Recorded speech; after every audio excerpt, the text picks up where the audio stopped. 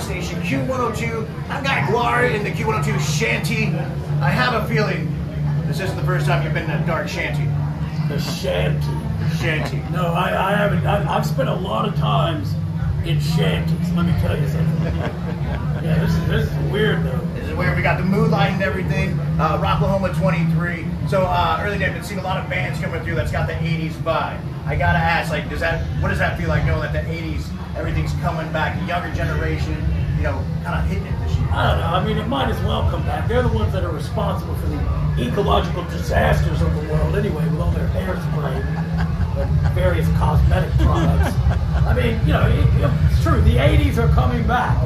But, you know, don't forget that GWAR is really more of a 90s band. But, uh, you know, whatever. We started in 1985. That's, that's when we first were thawed out by the excessive use of hairspray by bands like Warrant and uh, Poison and Cinderella.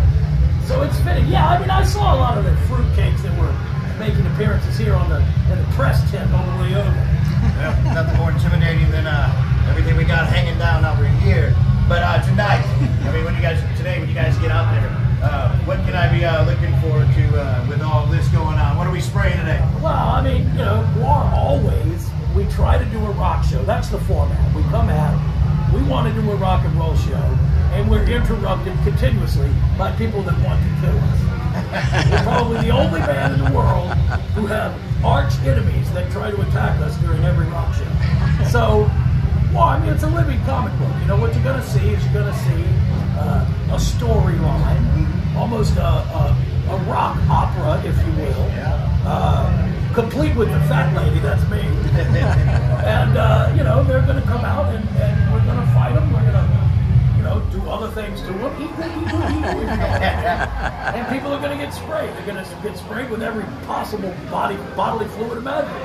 I cannot wait for that, man. Uh, I mean, like, this is the first time like I can say I've honestly sat next to a uh, barbaric warrior, first time in my life. Yes. And, uh, I mean, where did, where did this come from? How do we make all of it, you know, the change? I mean, you've been through war, man. Yeah, yeah. I mean, absolutely. This is, uh, you know, this this is the byproduct of me stealing things off of the dead bodies that I wring to death with my bare hands.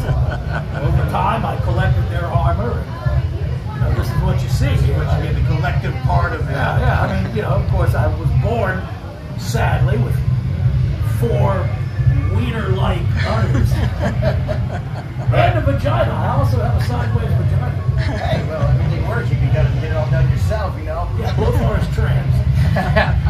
I appreciate you coming down to Shanty. I'm glad we were able to get you at least one more, one more dark Shanty for you. I appreciate you coming hanging out with us at Q102 Springfield Rock Station, hanging out with GWAR.